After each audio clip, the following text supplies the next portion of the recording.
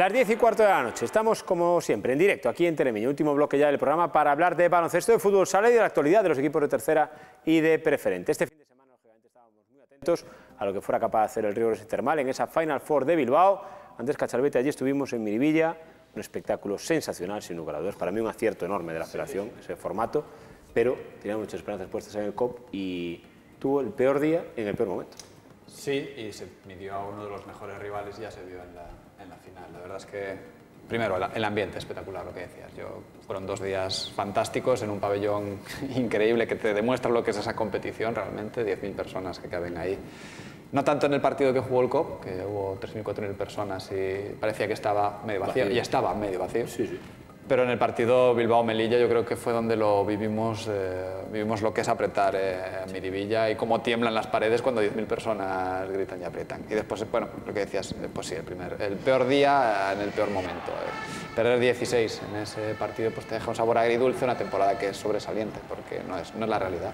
Eh, da la sensación de que el COP eh, llegó como una comparsa a esa Final Four, pero ni mucho menos. Eh, pasa que, bueno, quizá miedo escénico o que sencillamente el rival era mejor y merecía estar en la, en la final. Sí, yo creo que sinceramente que el COP eh, era inferior al Palma, pero no lo que dijo el marcador ni cómo fue el partido. El COP tiene, tiene argumentos, tiene baloncesto, Berto, otra vez buenas noches, para competir el partido. Que lo normal es que de cada 10 veces 7 las gane el Palma, es correcto.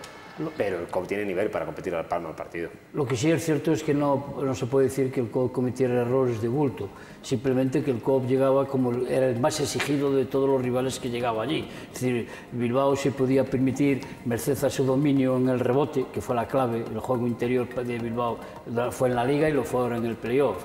El dominio del rebote les valió mucho para, para todo. Pues el COP era el, más, el que iba como, con mayor exigencia, o jugabas a tope a tope, eh, no bajabas la intensidad en ningún momento, que eso conlleva que las rotaciones tienen que ser también de calidad, uh -huh. si no van a bajar, como es indudable, porque errores de bulto, pues fuera de estadística, por nombrar, y no quiero señalarlo porque hizo una gran temporada, podría decir que Zamora no estuvo en sus números. Uh -huh. eh, o que Ucles fue la sorpresa en este playoff, que no estaba haciendo los números que está haciendo, pero tampoco es un recién llegado. Uh -huh. Es decir, es un hombre que siempre tuvo mano, a lo mejor no tuvo sí. físico ni ganas de pelearse, pero sí de anotar. Entonces, no hubo mayor sorpresa. Luis Hernández conocido, Michael Nunes que también, vamos, que no... Bueno, el pivo de, de, Sam, eh, de, de Bilbao, eh, Lammers. americano, Lammers. Lammers. Lammers, sí, que es un chico que yo imagino que a la larga sí que coja más físico y mejor en los tiros libres sobre todo, puede llegar a jugar a mayor nivel. Pero lo otro yo creo era acorde esperado. Y ahora es eso, que iba muy exigido y al mínimo que se, ve- que se viera apurado, pues le iba a costar. Yo creo que tiene nivel para competir más. De hecho, el se fue del partido en el último minuto y medio del primer cuarto, que va ganando de 9 y pasó a ganar de 1, incluso 5 puntos seguidos en un segundo y medio, que es una barbaridad. un partido se te, te penaliza, el segundo cuarto y la diferencia del partido fue el segundo cuarto. Sí, pero si te ves abajo en una situación límite, que sabes que no va a haber otro partido, que sabes que no va a seguir la temporada, que sabes que, que acaba allí, o eres superior y no, no pierdes la calma, sigues a lo tuyo, tiene, te empiezas a tirar de tres, o, eh, es decir, un equipo que sea superior, bien, pero cuando si te ves agobiado y ves que las cosas no salen, pues, ¿dónde te agobias más? Pero lo que voy es que en un partido de ese nivel, Andrés, Sí. Pepo Vidal, bien, Sí. sin más. Ot, bien, sin más. Es que todo lo demás, nada. Sergio Rodríguez, el peor en los últimos, meses. David Rocites confirmó que no estaba en su mejor momento de primera temporada, no fue factor. Zamora, el peor partido en muchos meses. Banco no estuvo en nivel. Y con todo eso, el Copa estaba a 9 a 10 en el tercer cuarto. yo Es decir, vuelvo a que sin nada tenía que haber competido un poco más. Rocitis al final es eh, presencia física y definición. Tampoco es un hombre que vaya a hacer más de lo que está haciendo, más que esa presencia física que puede intimidar en defensa y aportar tal. pero lo que estamos hablando Eh, es que quizá- en ese día, en ese día, en ese día en concreto, no estuvo. En los planteamientos ninguno. de Gonzalo le pudo faltar los, pivos del- los puntos del 4 abierto. Pues sí, porque Sergio lo estaba haciendo, había mejorado bastante en el tiro. Pero no, Jordan. no creo que cometieran errores Bueno, y también ¿eh? yo creo que también en lo que es la rotación. Claro. Puede ser un factor diferencial. Bilbao, lo- la gente que entraba del banquillo lo hacía igual o mejor lo que estaban Y Palma. jugando. Los dos mejores del Eh, partido perdón, fueron dos Bilbao, jugadores- que salieron del Claro, banquillo. y en cambio el COP, claro, era un cambio. si los buenos Pero- pero- supuestamente no están a su nivel y los que salen del banquillo tampoco. Pero tienen- insisto, que el lo normal es que pierda con el Palma, pero, Pero no de esa tiene manera. nivel para competir ejerciendo, ejerciendo de gallego, tú ahora te lo estás jugando ¿cuántos jugadores cogerías del Copa a jugártelas y cuántos del Bilbao, del Indiscutible, Palma pero- o, o del otro? No, no, Pero no estamos hablando de lo mismo, estamos, dic- estamos diciendo, y los propios jugadores lo reconocen, mañana sale de la razón, hablamos con Jordan Zamora, con Alfredo Ott, con Kevin Witt y con Sergio Rodríguez, y los cuatro te lo reconocen. Que lo que más rabia les da es que saben que juegan mejor. Ese es el problema, que el. Copa puede jugar mejor, mucho mejor. Pero yo creo que incluso fue.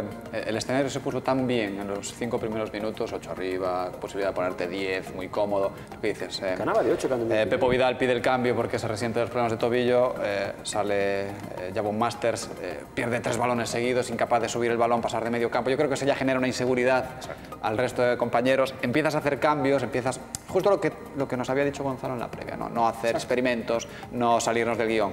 Obligas a meter a Ota al uno para que pueda subir el balón. Pluta pierde el protagonismo de, de Oviedo cuando sale, sale también a, a Velasbir. Y no tiene, no, no tiene que asumir él ese rol. Después, Joran Zamora, yo supongo que en base a la impotencia asume tiros que no son los suyos. Eh, Rocitis al final pues se enfrenta a su némesis, que al final es eh, Frank Guerra, le pasó a Watson, que eres un auténtico coloso en la zona Y no y puedes con él en ningún momento. Incluso hay un momento en el que Earl Watson, con toda su potencia física, intenta hacerle un mate en la cara a Frank Guerra y rebota hacia atrás. Yo tres tapones seguidos. Eh, yo creo que esa impotencia, al final lo que dice también Berto, no hay más partidos, te ves 10 a- 10 abajo, 10 abajo, 10 abajo y desgasta.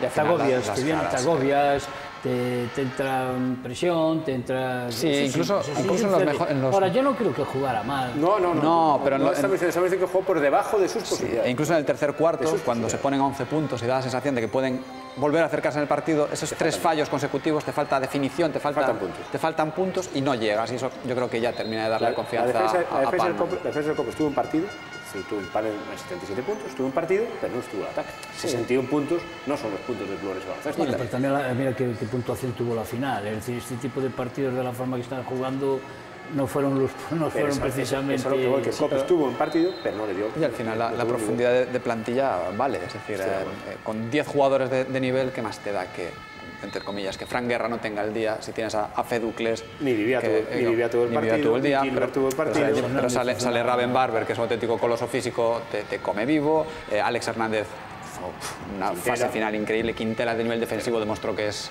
top ahora mismo, está, está en un gran nivel. Eh, y luego al final pues hay que ser realistas y el COP cuando hace cambios baja mucho. ¿Qué pasa? Que si la corriente es positiva, pues es bueno. Eh, presionado cuesta. Bueno, no obstante, esto no debe empañar la gran temporada que Hombre, hizo no, hombre, no, hombre, por porque se ha llegado a la Final Four, a, la, vamos, a, las semifinales para poder conseguir una, Es que digo un más, ascenso, digo que más. nadie, nadie pensábamos Digo eso más, de los temporada. 18 equipos que han jugado la liga, de los 18, el COP para mí es el que ha estado por encima de las expectativas, Claro. el único. Es que Betis ha estado donde se esperaba que Sí. estuviera. Bilbao ha estado donde se esperaba que estuviera. Palma ha estado donde se esperaba que estuviera. Y Melilla ha llegado donde se espera que llegue. El que ha estado por encima de las expectativas ha sido Orense. Yo recuerdo que a principio de temporada hablábamos aquí que había venido Gonzalo y eh, decíamos nombres de equipos y salían, de estos Diez. cuatro salían tres de Sí, los que están sí. ahí. Igual que se hablaba que el juego interior este año iba a ser definitivo porque estaban apareciendo muchos pibos grandes, fuertes, porque había, había mayor aportación económica, mayores presupuestos y, que, y al final así fue. Eh, ahí están los equipos que todo el mundo contaba que estuvieran, se coló el Orense.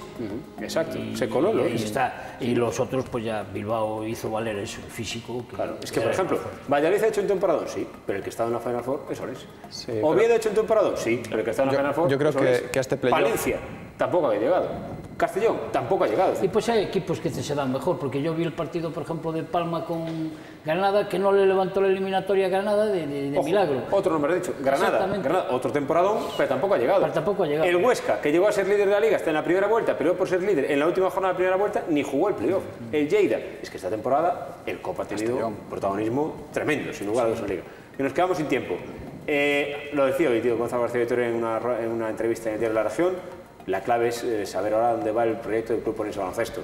Yo creo que no va a haber sorpresas. Están pendientes, lógicamente, los dueños del club son instituciones, son Consejo de Diputación. Después de un proceso de elecciones como ha habido, hay que esperar a que se configuren Consejo de Diputación. Yo creo que no va a haber ningún tipo de, de sorpresa novedad y en el momento que lo haya, el COP dará noticias. La primera, lógicamente, la más deseada, la renovación de Gonzalo García Vitoria. Sinceramente, creo que no debería haber eh, sorpresas.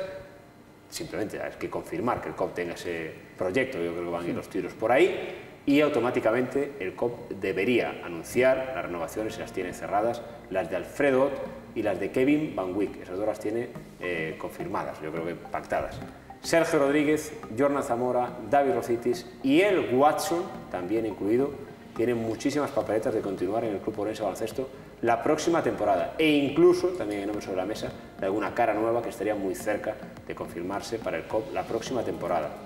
El COP tiene 8 o 9 jugadores prácticamente definidos para la próxima temporada y yo creo que no debería haber muchas sorpresas. Ahora, el COP no tiene prisa, sabe cómo actuar, sabe lo que tiene que hacer. El ejemplo de la temporada pasada yo creo fue la clave, sin prisa, pero sin pausa. Y yo creo que al principio del mes de julio tener esos 7 o 8 jugadores ya cerrados, la inscripción cubierta y empezar a planificar la próxima temporada. Por ahí van los tiros. Sí, porque además eh, lo, hablábamos, lo hablábamos, fíjate, en el, en el viaje de vuelta, ¿no? el, el tener que retocar una plantilla, el tener seis jugadores, ponte, en el peor de los casos, cinco jugadores, tener solo que fichar cinco jugadores, centrarte en cinco jugadores, es un avance tremendo con respecto a lo que venimos de años anteriores. Para- si ya nos pareció una auténtica barbaridad renovar a dos jugadores y solo tener que fichar a ocho, entre comillas, Es que digo más, allí estuvimos en Bilbao y hablamos con, hablamos con mucha gente y el COP tiene incluso algún fichaje nuevo para la próxima temporada, algún fichaje cerrado, pactado o muy cerca de concretarlo.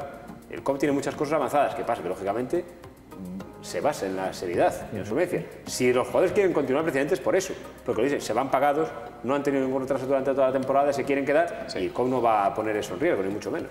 Sí, y ahora hay que ver que lo que hablamos antes, este año los equipos se fueron a presupuestos altos, a ver cómo cierran la temporada, porque eso va a repercutir en la próxima. Por lo tanto, incluso a lo mejor tiene algunos problemas que, que este año a lo mejor se excedió un poco, porque este año se gastó dinero en la competición, eso es cierto, los equipos.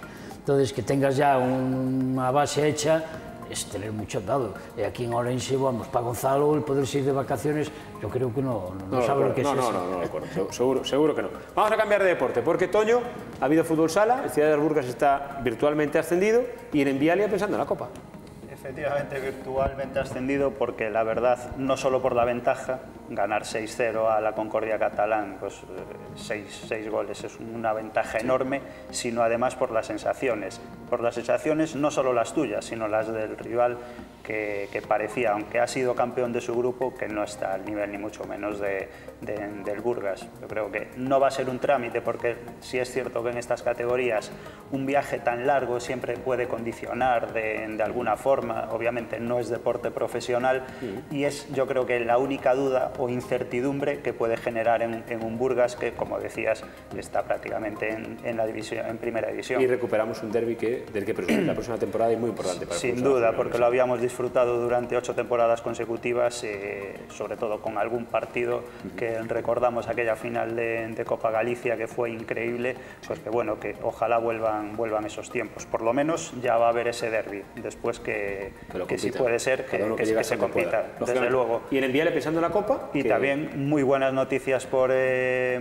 ya había hecho una... Hiciese lo que hiciese en estas últimas jornadas, estaba cumplido ya el objetivo de meterse en, en el top 8 y con ello disputar la Copa de España, pero la verdad es que ha terminado tercera. Eh, Espectacular. Yo digo lo mismo que el COP, es decir, es el que está por encima de las expectativas. Burela y Futsi están donde tienen que estar. sin duda, son dos auténticas selecciones y de hecho eh, han quedado con 27 puntos de ventaja, que es una auténtica locura.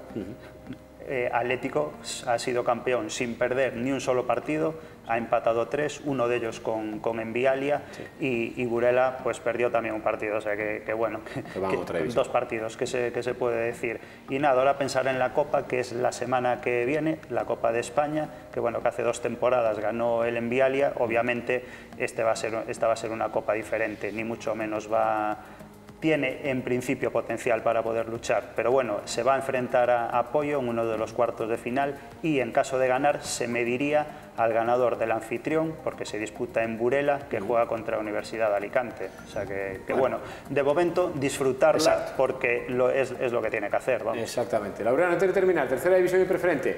Ahí van a empezar a aparecer alguna noticia, imagino, en tercera división, dentro de nada. Bueno, se, se- entiende que sí, porque llevamos ahí 15 días que prácticamente no ha habido noticias. Destacar en el barco que, bueno, Azpillaga y Tony que dejan, dejan el equipo. Sí. Y en el Orense Club de Fútbol sí que ya han renovado su bueno, tenían contrato, van a la temporada- la temporada que viene, eh, Pedro García, Renan Zanelli y Murillo. Son ya tres jugadores con los cuales ya te puede dar una base para poder base, sí, sí. iniciar un nuevo, se queda un nuevo proyecto. se queda sí, pues es lo que desde el club lo que nos, nos han comentado. Están en negociaciones con, con Fran Justo para ver si consiguen su renovación. Yo creo que se va, se va, a, llegar a, va a llegar a buen puerto. y luego el Arenteiro y la Unión Deportiva Orense, que están en un proceso, digamos, eh, preelectoral en busca de, una- de un nuevo, de un nuevo presidente. El Arenteiro el jueves. creo que El Ante tiene, tiene la, tiene la asamblea Y lo de la es otro y la Unión Deportiva Orense pues es para, Otro tema hablar mucho tiempo porque Le dedicaremos, le sí, dedicaremos. Ahora es, cuando- es complicada la, la situación actual, pero bueno, veremos lo que ocurre durante este verano que me da la impresión que va a ser muy largo. Cuando pase el rally, hablaremos, nos dedicaremos un programa a esa Unión Deportiva Orense y hablaremos un poco de cuál puede ser su, su futuro. Nos quedamos sin tiempo, chicos, que muchas gracias por estar aquí con nosotros A una. Semana más. Berto, veremos cómo avanza la actualidad del COP, ¿vale? ¿Te parece? Estas semanas, aunque ahora vamos a estar unos días, yo creo, de, de silencio. Yo creo que con la estabilidad que apuntáis está mucho andado. Es Y tanto. Un, un punto de partida que hasta ahora no había. Veremos, veremos lo que, lo que pasa. Andrés, esta semana ¿Vacaciones? No, es todo lo contrario, nos toca, nos toca rally el viernes con el diario de la región, es un suplemento espectacular y luego toda la información como siempre en las páginas de la región y en la página web. A ver cómo queda Te leemos esta semana, ¿vale? Toño, el fútbol sala esta semana nos centramos en el Burgas y la semana que viene hablamos Vamos de más a, deporte, a ¿vale? disfrutar ese ascenso y la semana que viene pues a soñar pues, con, a- con hacer un gran papel que le, que el Envialia haga un buen papel en la Copa. Exactamente, seguro que sí, seguro que sí, se le da bien ese torneo al Envialia. Lo dicho, nos vamos, nosotros la próxima semana se lo contamos. Todo lo que pase en ese Rally de Ourense, programa especial aquí el próximo lunes y todo lo que genere, como siempre, el deporte urensano. Para nosotros es un placer contárselo, aquí en Telemiño. Sean felices, que pasen buena semana. Adiós.